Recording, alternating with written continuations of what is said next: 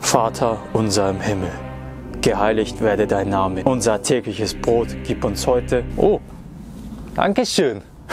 Das Brot hat in sehr vielen Kulturen eine sehr große Bedeutung und es wird ja auch zum Beispiel bei uns im Bereich als Grundnahrungsmittel angesehen.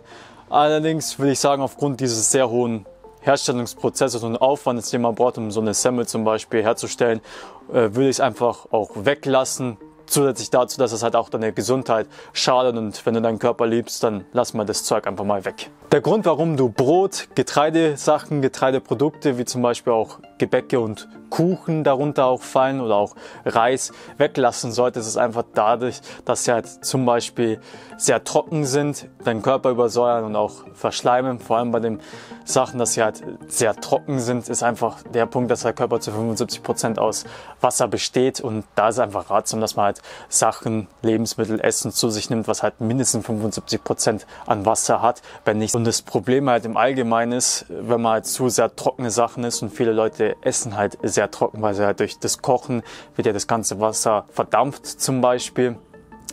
Dass halt dadurch einfach die Menschen zusätzlich Wasser trinken müssen zu ihrem Essen, weil wenn das Zeug zu trocken ist, ich glaube, das kennt jeder, wenn man mal ein trockenes Stück Fleisch irgendwie bekommt oder das zu lange im Backofen war, du kann, kaust es erstens viel schlechter, du kannst, weil der Speichel da sofort äh, aufgesogen wird von den Sachen, also das Runterschlucken ist auch dann nochmal das Problem und es liegt dann auch ein bisschen quer im Magen, ist auch ziemlich schwer verdaulich und da ist ja dann auch das Problem, einerseits ist es schon schwer verdaulich, das heißt, der Körper braucht da viel mehr Energie Energie, um das halt ähm, zu verdauen.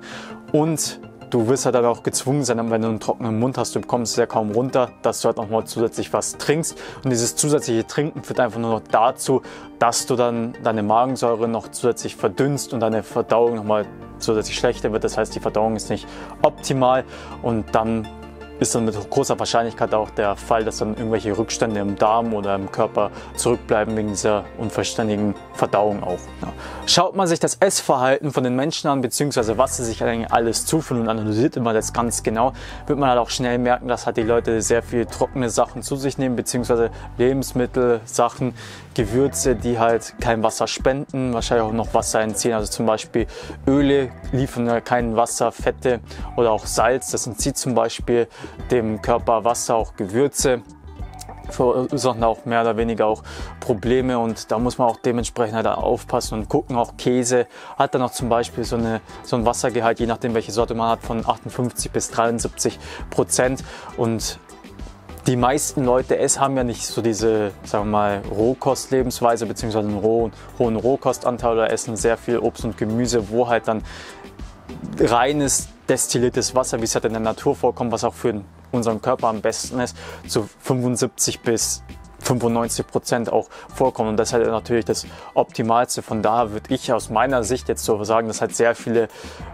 Leute, die halt nicht immer nur Wasser trinken, sondern auch Softdrinks und sowas, sagen wir mal, chronisch dehydriert sind. Weitere Punkte neben der Tatsache, dass diese Lebensmittel einen niedrigen Wassergehalt haben und deshalb auch nochmal zusätzlich schwer zu verdauen sind, sind halt einfach die Tatsache, dass viele der Sachen auch übersäuern, besonders auch Getreide gehört auch dazu, was halt für eine Übersäuerung im Körper sorgt.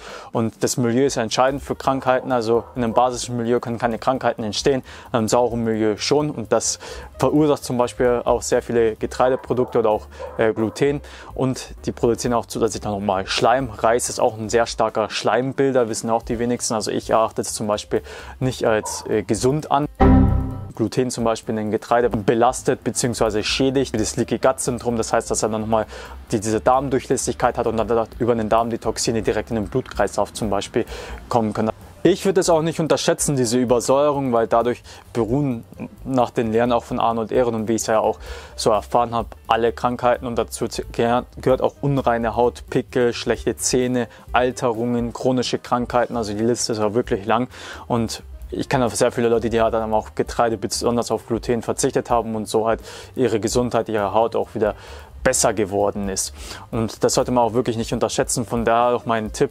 Also dass man halt solche Getreideprodukte von vornherein weglassen soll. Man soll halt sehr wasserhaltig überwiegend auch den Tag ähm, essen. Also wenn man jetzt zum Beispiel Trockenfrüchte isst oder Nüsse oder solche Sachen, dass man halt die halt auch vorher einweicht. Ist äh, sehr wichtig, dass halt das ein bisschen an Feuchtigkeit auch zusätzlich gewinnt.